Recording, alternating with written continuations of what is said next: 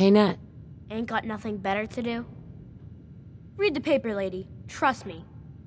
Watch your back. The Institute could be right behind you. Selling papers is busy work, lady. You won't believe what's in the next issue. Just you wait.